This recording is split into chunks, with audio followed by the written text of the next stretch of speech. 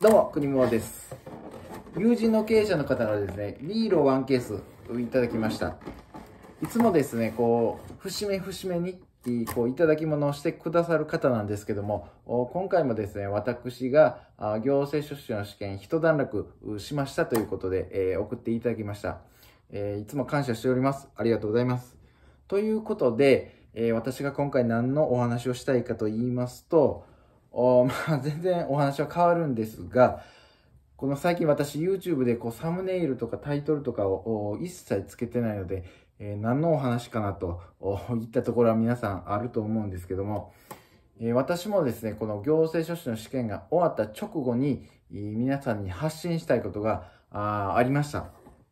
っていうのは、例えば先週の行政書士の試験が終わりましたと。で、採点しましたと。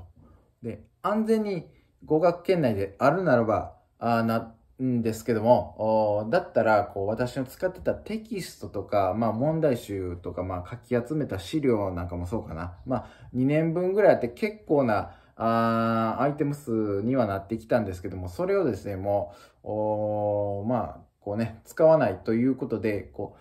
う、もし需要があるならば、皆様に差し上げたいなと、おいったことを考えておりました。おりましたっていうのは、まあ、前回のね、ちょっと悶々とした動画にもある通り、まだちょっと期日待ちの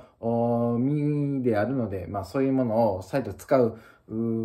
場面もちょっと想定されるので、なかなか、あまあこれ公言はできないんですけども、本来だったらそういうね、まあ2年分の市販模試とかもう10冊ぐらいですかね。えー、とかまああ、今までこう動画の中でチラチラと映ったアイテムとか、えー、もう捨てるのもあれだし、そんなね、えー、こう、中古で売るとかも全然私考えてないので、えー、それだったら、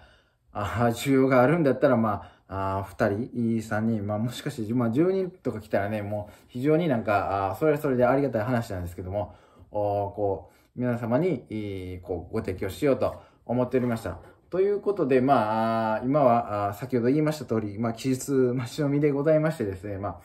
まあ、こう、のんびり過ごしている